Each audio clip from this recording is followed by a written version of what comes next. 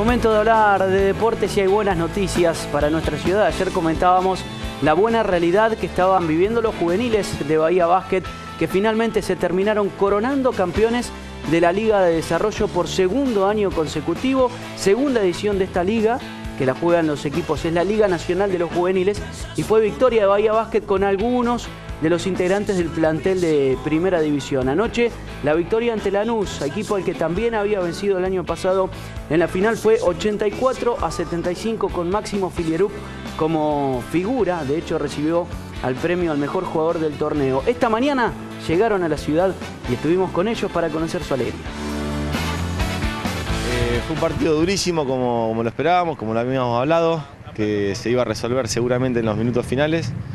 Eh, pero bueno, llegamos muy enteros, llegamos muy bien de la cabeza y bueno, eh, los chicos hicieron un gran cierre defensivo sobre todo para darnos la victoria. Es un paso más en el camino que, los chicos tienen que hacer eh, y es, un, es producto del, trabajo del día a día, ¿no? lo que hacen ellos en cancha, fuera de la cancha, lo que, lo que trabajan, no solamente con, el equipo de Liga de Desarrollo, sino también con la Liga Nacional, obviamente.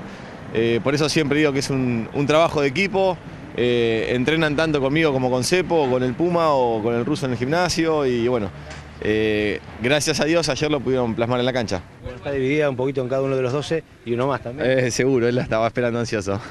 bueno, felicitaciones porque bueno, además del título fuiste el MVP. bueno, muchas gracias. Contame un poco por qué el título, cuáles fueron las, virtudes del equipo, cómo fue el desarrollo de los partidos. Y creo que pudimos hacer un poco de lo que hicimos todo el año, que es defender duro y poder correr o poder tomar los tiros abiertos. Por ahí nos entró, no entró, pero nunca dejamos de intentar. Así que creo que esa fue una de las claves para, poder ganarlo. Fue, fue un año muy duro como fue el año pasado y bueno, dio sus frutos, eh, se ve reflejado en la cancha y creo que, va a seguir siendo lo mismo, ¿no? de, de seguir trabajando día a día y, y poder seguir creciendo.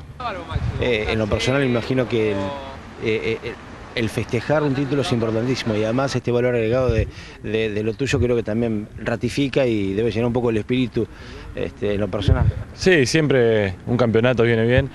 entrenamos todo el año para esto, por ahí no, no solamente para resultados, sino para nuestro desarrollo, de poder crecer como jugadores, como persona o como, como lo que sea.